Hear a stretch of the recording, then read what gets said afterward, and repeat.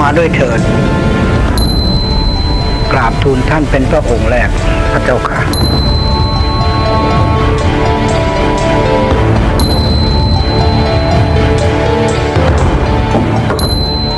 เจ้าพระยาศรีสุริยวงศ์ได้ถามผู้ที่เข้าร่วมประชุมเรียงตัว ที่ประชุมเห็นเป็นเอกฉันตามที่กรมหลวงเทเวศวัชรินเสนอ เวลานี้พระอาการหนักหนานัก หม่อมฉันจะนำความเห็นในที่ประชุมขึ้นกราบบังคมทูล แต่มีข้อหาลืออีกประเด็นหนึ่ง ด้วยสมเด็จพระเจ้าอยู่หัว ทรงวิตกกังวลอยู่ ด้วยสมเด็จพระเจ้าลูกยาเธอ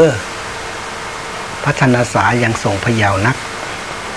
เกรงจะไม่สามารถว่าราชการแผ่นดิน ให้ร่มเย็นเป็นสุขได้ ดังสมควร พวกท่านจะคิดอ่านกันอย่างไร ข้าพเจ้าก็เห็นเช่นนั้นอยู่ อยากจะขอให้เจ้าพระยาศรีสุรยวงศ์ว่าราชการแผ่นดิน ไปจนกว่า สมเด็จพระเจ้าลูกยาเธอ มีพระชนมายุควรผนวดขอทุกท่านแสดงความเห็น ควรหรือไม่ในข้อนี้ด้วยเถิด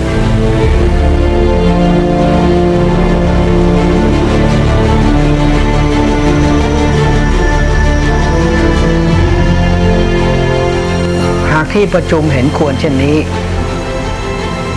ในส่วนตัวของกระหม่อมฉันเต็มใจที่จะรับสนองพระเดชพระคุณ อย่างเต็มสติปัญญา แต่ด้วยไม่สู้จะเข้าใจเรื่องการราชพิธีต่างๆ จึงใคร่ขออัญเชิญ เสด็จในกรมทรงพระกรุณา ช่วยในการพระราชนิเวศด้วยอีกพระองค์หนึ่ง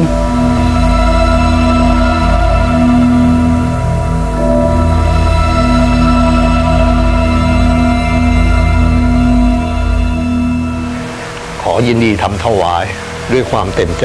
ทีเดียว อีกข้อหนึ่ง ตามธรรมเนียมพระราชประเพณี ปฏิบัติมาแต่ในรัชกาลก่อน คือการมีอุปราชฝ่ายหน้า ในแผ่นดินนี้ ควรจะมีการแต่งตั้งอุปราชฝ่ายหน้าด้วยหรือไม่ องค์พระบาทสมเด็จพระจอมเกล้าเจ้าอยู่หัวและองค์พระบาทสมเด็จพระปิ่นเกล้าเจ้าอยู่หัวได้มีพระเดชพระคุณ รกกล้าปรกกระหม่อมทั้งสองพระองค์ และเพื่อสนองพระคุณของพระบาทสมเด็จพระปิ่นเกล้าเจ้าอยู่หัว ควรกราบทูลเชิญ กรมมะมื่นบวรพิชัยชาญ ขึ้นเป็นกรมพระราชวังบวรสถานมงคล ในวาระนี้ด้วยเถิด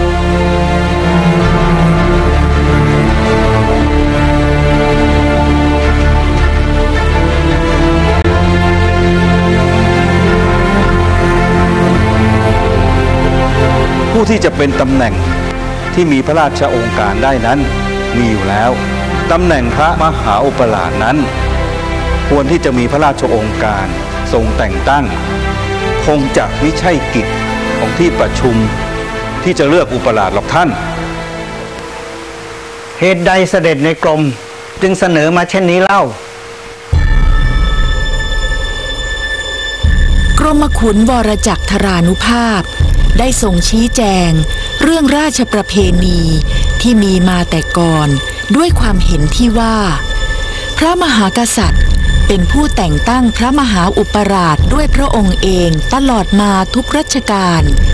จึงไม่ควรเป็นหน้าที่ของที่ประชุม ที่จะเสนอแต่งตั้งพระอุปราชเป็นการล่วงพระราชอำนาจ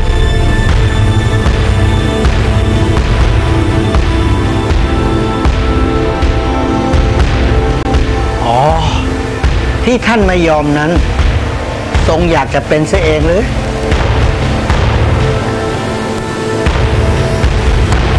ถ้าจะให้ยอม ก็ต้องยอม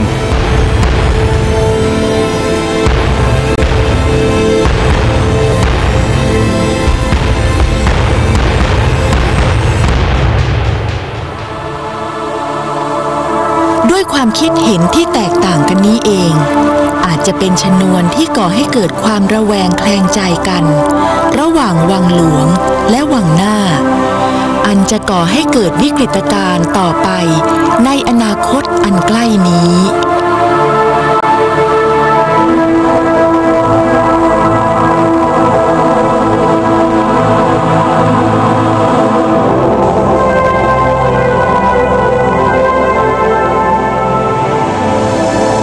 จากที่พระบาทสมเด็จพระจอมเกล้าเจ้าอยู่หัวสวรรคตแล้ว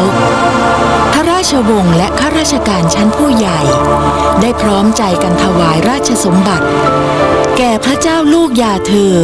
สมเด็จเจ้าฟ้าจุฬาลงกรณ์กรมขุนพินิษประชานาถพระราชโอรสพระองค์ใหญ่ ซึ่งมีพระชันษาเพียง 16พรรษา สด็จขึ้นครองราชครั้งแรก เมื่อวันที่ 11 พฤศจิกายน พุทธศักราช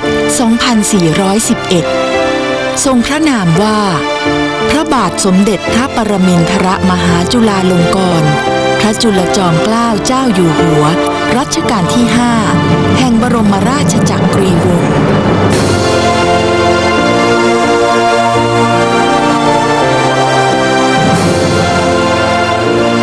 ด้โปรดเกล้าโปรดกระหม่อม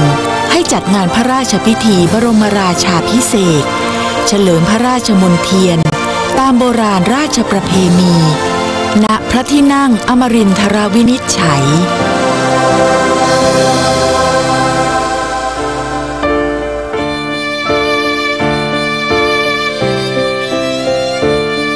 นอกจากนี้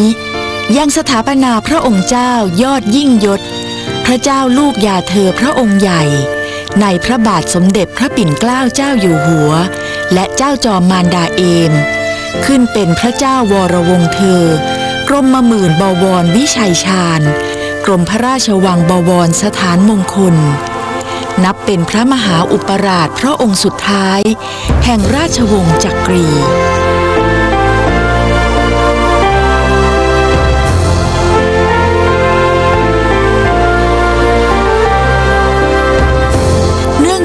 าทสมเด็จพระจุลจอมเกล้าเจ้าอยู่หัว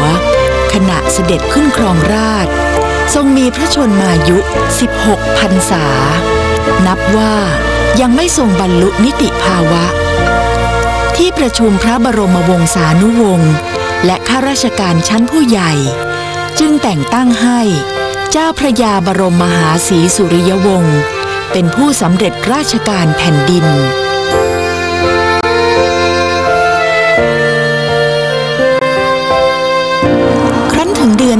คม พุทธศักราช 2412 พระบาทสมเด็จพระจุลจอมเกล้าเจ้าอยู่หัว โปรดเกล้าโปรดกระหม่อม ให้เชิญพระบรมศพ พระบาทสมเด็จพระจอมเกล้าเจ้าอยู่หัว ไปยังพระเมรุมาตร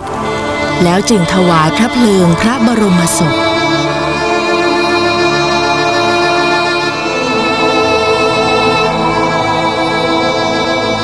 หลังจากนั้นหนึ่งปี พระบาทสมเด็จพระจุลจอมเกล้าเจ้าอยู่หัวทรงพระกรุณาโปรดเกล้าโปรดกระหม่อม ให้สร้างวัดราชบพิษสถิตมหาสีมาราม ขึ้นเป็นพระอารามหลวงชั้นเอก โดยมีพระวรวงศ์เธอพระองค์เจ้าประดิษฐาวรการ ซึ่งกำกับราชการกรมช่างสิบหมู่ ทรงอำนวยการสร้าง การสร้างวัดนี้ ได้สร้างพระมหาเจดีย์เป็นหลัก ห้อมล้อมด้วยระเบียงด้านเหนือเป็นพระอุโบสถ ด้านใต้เป็นพระวิหาร ภายในพระอุโบสถและพระวิหาร ตกแต่งด้วยศิลปะแบบตะวันตก ส่วนภายนอกออกแบบเป็นศิลปะไทย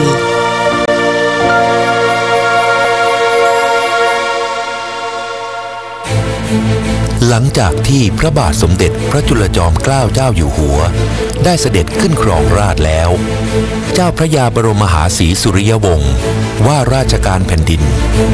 พระองค์ได้เสด็จประพาสต่างประเทศ เพื่อศึกษาขนบธรรมเนียม ประเพณี และวัฒนธรรมการปกครอง ตลอดจนความเจริญด้านต่างๆ เพื่อนำมาปรับปรุงให้เหมาะสมกับประเทศไทย เช่น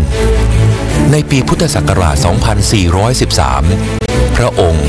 เสด็จเยือนสิงคโปร์ เมืองปัตตาเวียและเซมารังของชวา เป็นระยะเวลาทั้งสิ้น 47 วัน โดยเสด็จทอดพระเนตร กิจการทหาร การรถไฟ โรงพยาบาล และสาธารณูปโภคต่างๆ ในคราวเสด็จประพาสสิงคโปร์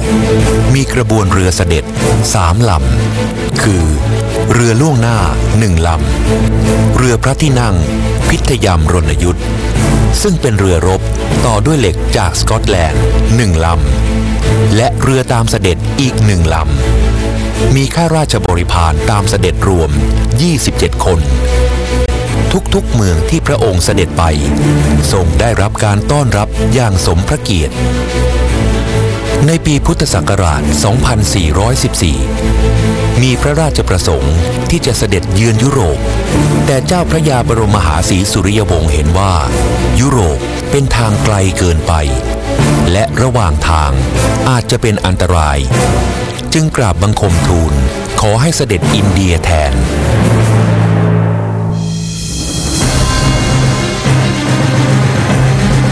พระบาทสมเด็จพระจุลจอมเกล้าเจ้าอยู่หัว จึงเสด็จ ประพาสอินเดีย โดยทางรถไฟเป็นส่วนใหญ่ การเสด็จประพาสครั้งนี้ ใช้เวลาทั้งสิ้น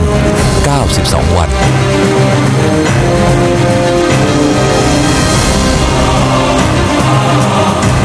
ระหว่างทางได้ทรงแวะเยือน สิงคโปร์มาลากา ปีนัง มะละแมง ย่างกุ้งที่พม่า ซึ่งอยู่ในความปกครองของอังกฤษ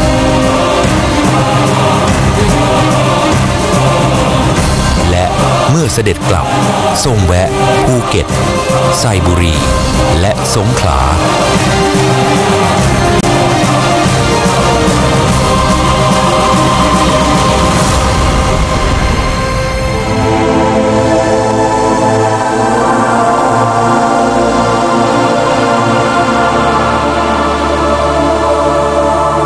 หลังเสด็จกลับจากประพาสอินเดียแล้ว